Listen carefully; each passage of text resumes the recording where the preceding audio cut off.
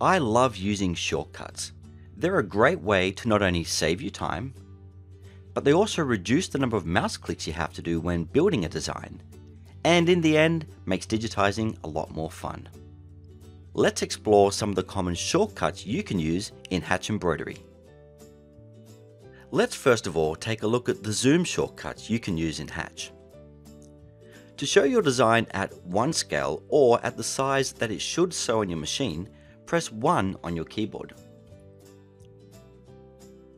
To fit the design as large as it can go on your screen, press 0 on your keyboard.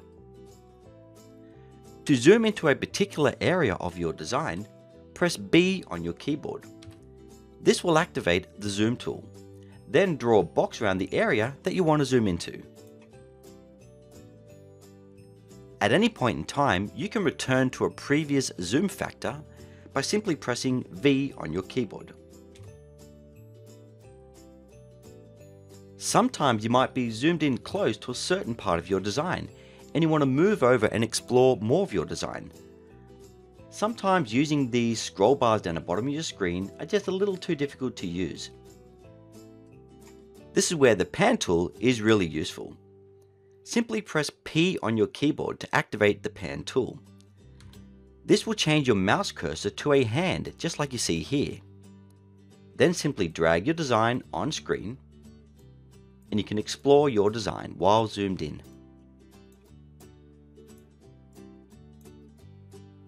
You can also easily zoom in and out using keyboard shortcuts. To zoom in, press the Z key to zoom in 100%. Or Shift Z to zoom out 100%. Likewise, use the plus key on your keyboard to zoom in by 25%, or the minus key to zoom out by 25%.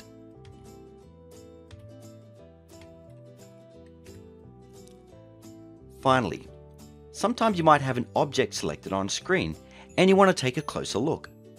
To zoom in on the selected object, hold down the Shift key and press 0 on your keyboard.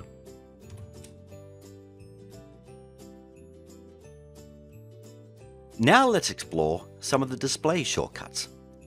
To turn on and off your artwork, simply press D.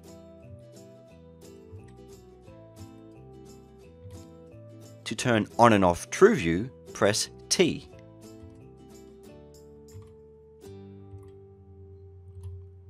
To turn on and off your stitches, press S.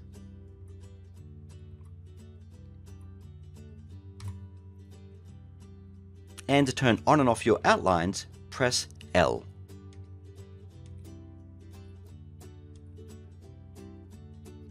Finally, you can turn on and off your stitch penetration points by pressing the full stop key on your keyboard.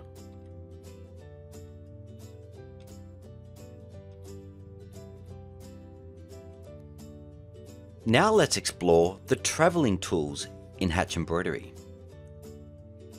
If you look in the bottom right corner of your screen, you can see the current stitch count of your design.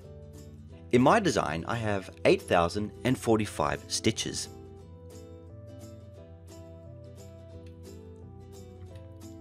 To travel to the beginning of my design, I press the Home key on my keyboard. Now you can see I'm at stitch 1 or the start of the design. To travel to the end of the design, I press the End key on my keyboard. Let's go back to beginning by pressing Home again. I can now travel through my design, first by using the right arrow button to travel forward by one stitch.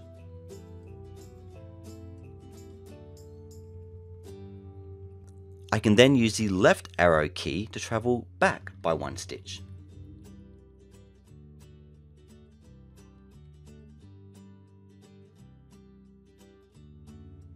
I can travel forward by 10 stitches by using the down arrow button, or backward by 10 stitches using the up arrow button. I can now travel forward by 100 stitches by using the plus keyboard on your keypad.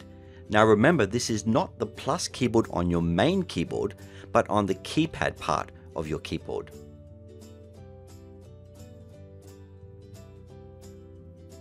And I can travel back by 100 stitches by using the minus key on my keypad.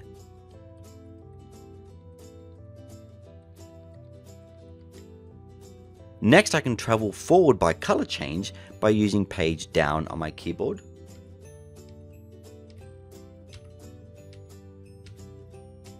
And travel back by color change by using page up on my keyboard.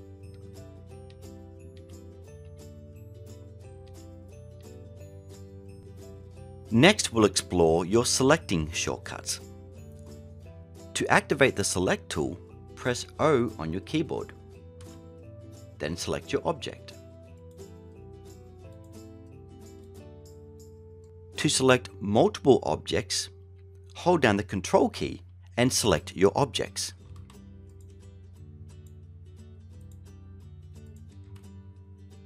To select two separate objects and all objects sewn between those objects in sequence, select the first object, hold down Shift and select the last object and it will select all the objects that sew between those two objects. You can also select a group of objects using Polygon Select. Press Ctrl L on your keyboard and digitize a boundary around the objects that you want to select. Then press Enter. Finally, to deselect any objects, simply press Escape on your keyboard. Let's look at some of the digitizing and reshaping shortcuts in Hatch Embroidery. Sometimes when you're creating a design, you need to digitize an object like a digitized block and then travel to another part of the design to digitize another object. And when you travel, you typically do that with the run stitch. So you'd open up Digitize, you'd select your Digitize Blocks tool, you digitize your block shape. Then you'd swap over to digitize open shape,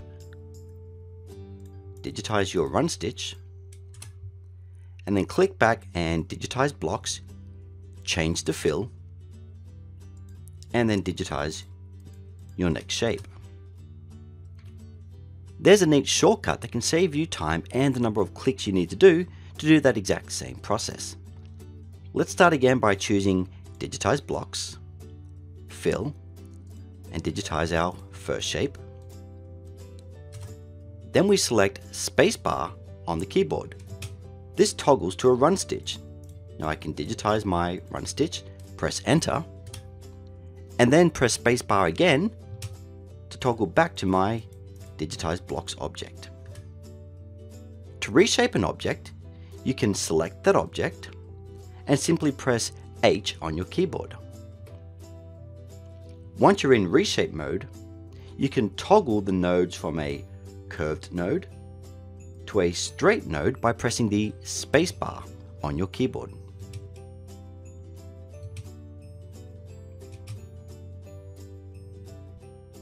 Finally, my most important tip is simply Control S. Control S will save your design while you're digitizing. Every couple of minutes, simply press Ctrl S to save your design, because you never know what might happen. A blackout, or your computer might simply crash. And these are shortcut keys in Hatch Embroidery. Thanks for watching and don't forget to like, comment and subscribe.